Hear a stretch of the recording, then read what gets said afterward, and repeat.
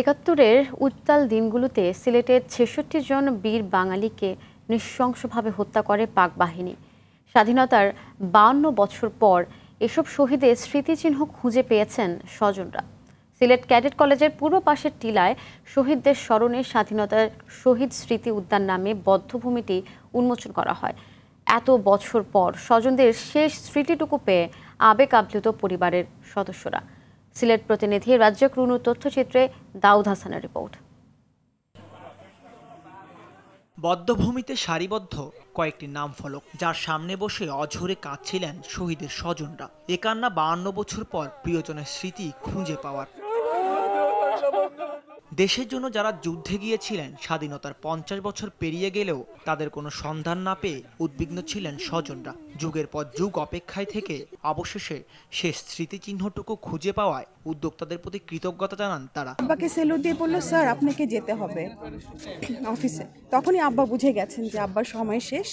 আম্মাকে ডেকে কিছু কথা বললেন এবং আমাকে আদর করে গেলেন। ছোট ভাই ছিল সাথে, বড় ভাই ঢাকাতে ছিলেন। তো ওই যে গেল, আর কোনো খোঁজ পাইনি। অনেক জায়গায় গেছেন আমার মা। আমার মা চলে গেলেন ছয় বছর আমি গেছি। সে, অন্য মানুষ ভেবে তাড়িয়ে দিও না, তোমার বাবা ঠিকই ফেরত আসবে। ঠিকই আসলো কিন্তু দেখেন, কিন্তু অন্যভাবে আসলো। দুই তারিখ সকালে, রাত্রে আইসল আগের দিন রাত্রে আমার বাবা ভাই অসুস্থ খবর পাইয়া ডায়রি হয়ে গেছিল।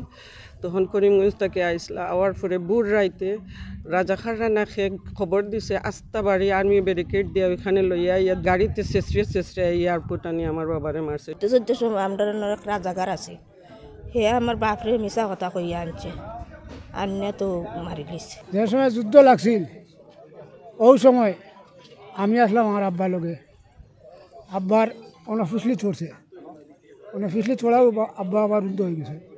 আমারও ঘরছে হাতে ব্যক্তি উদ্যোগে বদ্ধভূমিকে সংরক্ষণ করে স্বাধীনতার শহীদ স্মৃতি উদ্যান নামে নির্মাণ করা হয়েছে। শনিবার উদ্যানটি উদ্বোধন করেন তত্ত্বাবধায়ক সরকারের সাবেক উপদেষ্টা রাশেদ কে চৌধুরী সহ শহীদ পরিবারের সদস্যরা। রেসিডেন্সিয়াল মডেল স্কুল যেটা আর কি যেটা এখন ক্যাডেট কলেজ এই সংলগ্ন এলাকার এই যে শালুটিকর বৌদ্ধভূমি এটা আসলে সিলেটের সবচেয়ে বৃহৎ বৌদ্ধভূমি। মানে অসংখ্য মানুষকে এখানে হত্যা করে পাক আর্মির সদস্যরা। তো এটা আগে থেকেই জানা ছিল যে এখানে যে নৃশংসভাবে হত্যাযোগ্য চালিয়েছে হানাদার বাহিনীর সদস্যরা। তো সময়ের সাথে সাথে এটা দীর্ঘদিনের দাবি ছিল যে এখানে যেন একটা স্মৃতি উদ্যান নির্মাণ করা হয়। হুম, তো এরই প্রেক্ষিতে আসলে এর এই নির্মাণ উদ্যোগটা শুরু করা এবং পরবর্তী পর্যায়ে আমরা মানে বাহাত্তরের পত্রপত্রিকা, তারপর ওই যে বিভিন্ন সময় প্রকাশিত গবেষণা গ্রন্থ এবং মাঠ পর্যায়ে দীর্ঘ অনুসন্ধান চালিয়ে গ্রামে গ্রামে গিয়ে প্রত্যেক শহীদ পরিবারের সাথে কথা বলে আমরা এই এই এলাকায় যাদেরকে এনে সেনাবাহিনী পাকিস্তান সেনাবাহিনী তাদেরকে হত্যা করেছিল, তাদের তালিকা আমরা করি। প্রাথমিকভাবে এই বদ্ধভূমিতে মুক্তিযুদ্ধের শহীদ ছেষট্টি জনের নাম পেয়েছে শহীদ স্মৃতি উদ্যান বাস্তবায়ন কমিটি। আরও যারা শহীদ হয়েছেন, এমন নাম না জানা বীরদের খুঁজে বের করার চেষ্টা চলছে। শহীদদের প্রতি শ্রদ্ধা জানানোর স্থান পেলেও রাষ্ট্রীয় স্বীকৃতি পাওয়ার প্রত্যাশা স্বজনদের। Daud Hasan, R TV.